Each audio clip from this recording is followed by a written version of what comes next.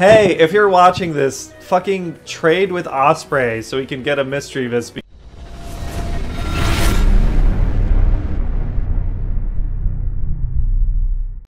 Hello, everyone. Welcome back to Player Guides.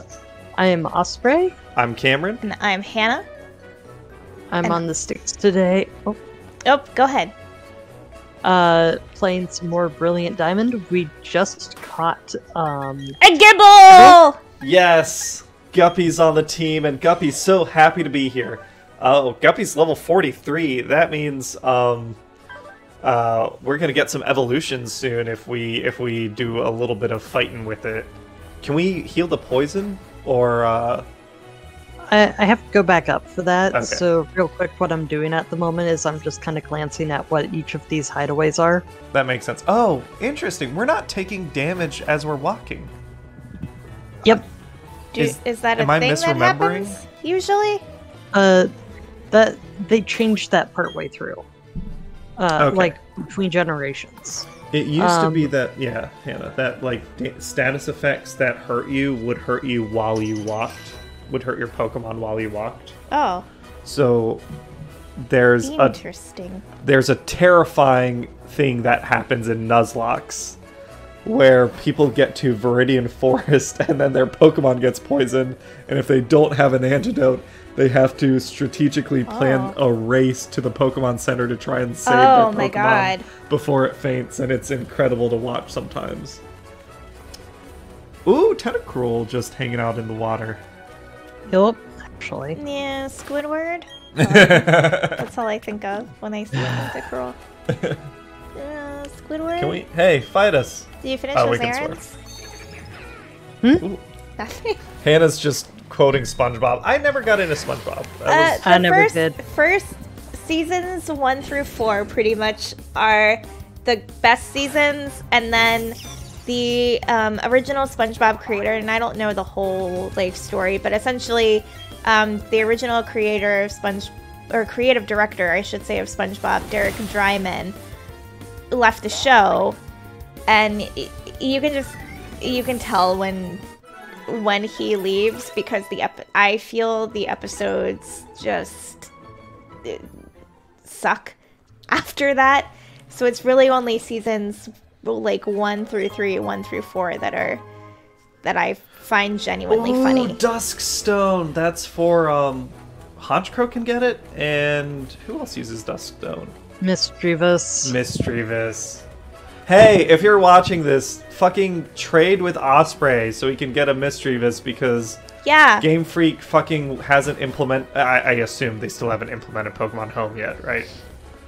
Not that I've seen, but I also haven't looked for a little bit. I've been playing Legends Arceus, where I can catch every Pokemon. That's true. I guess uh, Legends Legends Arceus does feel like it came out and it instantly obsoleted um at least Brilliant Diamond Shining Pearl. Maybe not Sword Yeah. and Shield because Sword and Shield still has like the competitive multiplayer aspect. Um but yeah, Legends Arceus is definitely uh it's not I, I you're need kind of Ooh. you're kind of uh in, influencing me. Is that the word that I'm think that I want to use? Are you suggesting that you may play it in the future?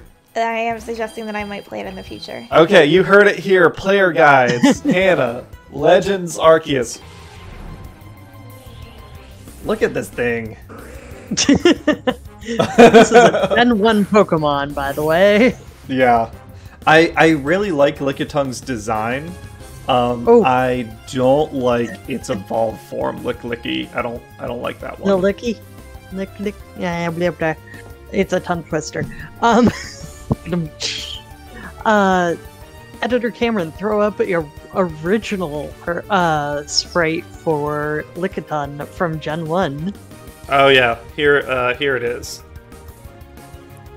Hannah, if you're curious, wait, is it the Fork Tongue? Was that the original sprite? Oh no. What? Oh no, that's Doctor's Lo- Doctor Lava's lost Pokemon on Twitter. Lickitung's tongue split. Oh my During god. Gen 1's development, Lickitung had a tongue split in before it came out in the uh That's interesting. That's that's super interesting. Back uh, when it was what Pokemon Red and Green or whatever it was called in Japan. I don't know. I never played uh, Red and Green, the Japanese version. Yeah. But neat. Um, but yeah, like original Lickitung was just you got a little a lot of that. What is that? yeah, yeah, it was also really rare. yeah. It was. I remember I- spending a lot of time.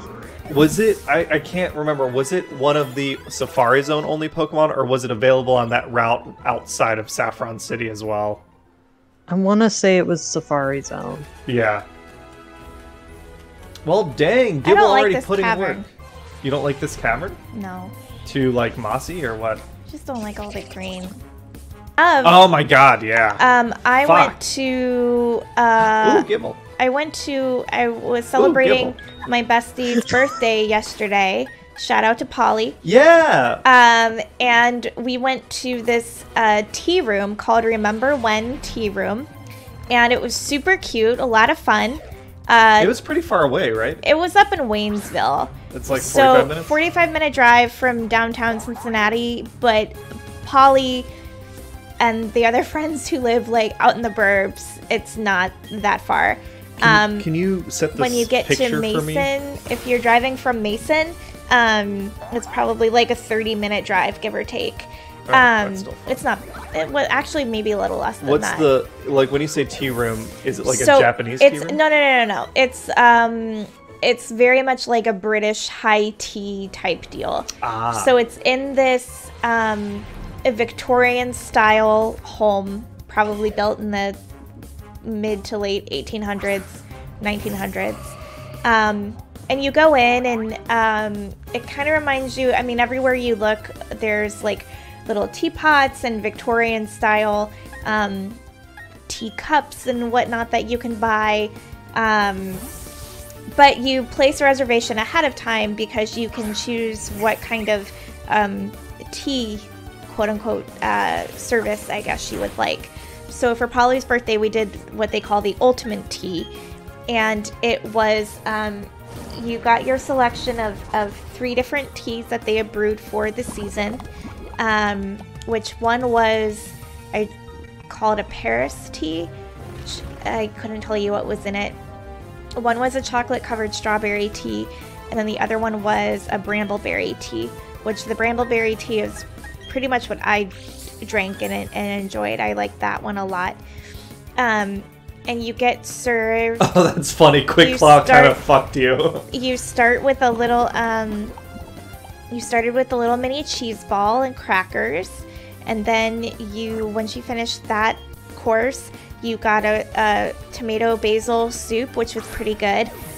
And then after that course, they brought out these little, um, these tiered trays, which oh, had sandwiches. yeah, they had different finger sandwiches, and they had uh, scones, and they had little um, little treats like little brownies and little mini cupcakes up top. So it was a lot of fun. The whole experience took about two hours. Um, I'd recommend it for like a cute little, like something different if you're gonna do like a bridal shower or. Uh, Mother's Day type thing. Um, but it was it was a lot of fun. It was something different. Um, Waynesville is definitely like farm country, Mm-hmm. so What's the history of this like random tea house out in farm country? Do you know I, what? I'd have to. Uh, it. you're fine. If you, I, I would wondered if you like asked the owner or something. No, I don't do it- that it like you do. Does sound you don't talk to the owners. Not really. um, it, it it does sound neat. It's something that I'd like, like you said, maybe check out for a special occasion. Um, yeah, the I think my thing is I am a very traditional tea guy. All I need is black cardamom tea, and Okay. I, I'm not a fan of scented So it's called Remember When Tea. Remember When is a locally owned and family operated tea room. It opened in the fall of 2016, became a favorite gathering place for both locals and people from across the country, and it has been recognized by tmap.com as one of the best tea rooms in the country. The menu and atmosphere provide not just a meal, but a unique experience to be enjoyed by those young and young at heart. Remember when Tea Room is a perfect location for all of your formal celebrations, such as bridal showers, baby showers, birthdays, and anniversaries. It is also a great casual gathering place to meet family and friends. A good time and lots of laughter are encouraged. So, Very cute. so the this is something that's always kind of confused me. When people say "young at heart," wh- like, what's that even supposed to mean? It means old. Yeah. I don't know. Oh, Swinub. Hey, little guy. The menu, Look at this little piggy. so the full menu, we should catch that one too. But yeah, I don't. I don't. The There's definitely some ageism in there, but I'm not sure the source of it. Osprey. the um the ultimate tea menu, which is what again what we used or ate, was a beloved BLT cheese ball, red tomato basil soup, a St. Valentine's strawberry salad, and the sandwiches were a chicken salad croissant, Poisson. Cupid's cucumber tea sandwich, and a honey ham sandwich. The scone was a sweetheart scone with Hey. ch- chantilly This chantilly little cream. piggy's going to the market. Chantilly cream? Chantilly cream? Chantilly. Chantilly cream. Uh, and then desserts were a red velvet brownie, a moonstruck. Oh, I gotta think of a name. What about? I'm trying to think of fame. What about Babe? No. Gordy! Who's Gordy? That's another little pig movie. Gordy? Yeah. What's that one about? It's about a pig on a farm. It's essentially a knock. Oh, G O R D Y. It's a, I think, it's a knockoff of, of Of Babe. Babe, yeah. Gotcha. I'll look up that synopsis. Anyway, desserts were red velvet brownie, moonstruck marshmallow iced cupcake, and a cherry tr- delight trifle.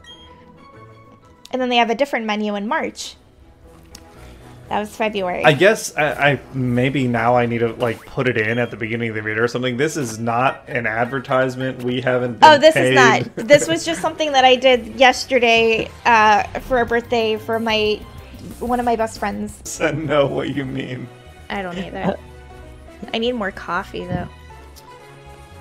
Ooh, how has your you've been grinding your own beans? Yeah, and I will never go back. I love my grinder so much. Shout out to Cameron who got it for me as a lovely Christmas gift. Uh, I will never go back to pre-ground. grounds. Yeah, to ground coffee. I love grinding my own my own beans for coffee. Which I com- I finished the bag that I had now, so I'm gonna have to get more beans, and I'm gonna try to find The beans. uh, White Castle coffee because that's my favorite. Um, but they don't sell it in Kroger anymore, so I need to see if I can find it online. Is it so you, Hannah? Yes, we- sir. In in shopping and, and stuff in the past, Yeah. we tend to try our best to be ethical consumers, which is oftentimes very difficult. I don't know enough about coffee, like, but from what I've read, is that like a concern of yours at all? Where your coffee comes from? This is gonna make me sound like a horrible person. It hasn't been. It's not something that I've done a ton of research on. Um, I will say typically, um, my ground coffee I would buy and, and still do occasionally before I got the grinder. Um, was from a local shop here called Coffee Emporium, which oh he's a evolving. Hey, people's Um, evolving in a Gabite. And Coffee Emporium is a woman owned, which I find awesome, local business here in Cincinnati. And I know that they source their own coffee um, ethically. Um, as far as White Castle's coffee, I I couldn't tell you. Yeah, if- that's a kind of a what they sad do. Pokedex entry. It's it's. I guess it's a reference to like shark fin poaching. Hmm. I I don't have a lot of context on that to say. I'm gonna Well- teach. Uh, oh yeah, I feel like bulldoze. Yeah. I'm kind of sad we didn't face the gym leader. Actually, What do you mean? This episode? yeah. Why is that? I don't know. It feels like I just procrastinated the entire time instead of taking on the gym. Nah, we we Later. caught some more Pokemon, which is important to do. Gibble evolved in. I feel like getting Gibble to its evolution stat line is probably a big improvement in its survivability. We'll call we'll call this an episode, um, and we'll we'll come back and on the next one, yeah, we'll go and we'll kick that gym's butt. We got two ground types. Um, I feel like we've got a grass type. We are well equipped to go dunk on those fools. Uh, thanks for playing with us, everyone. Yeah. See y'all next time. Thanks everyone. Who day?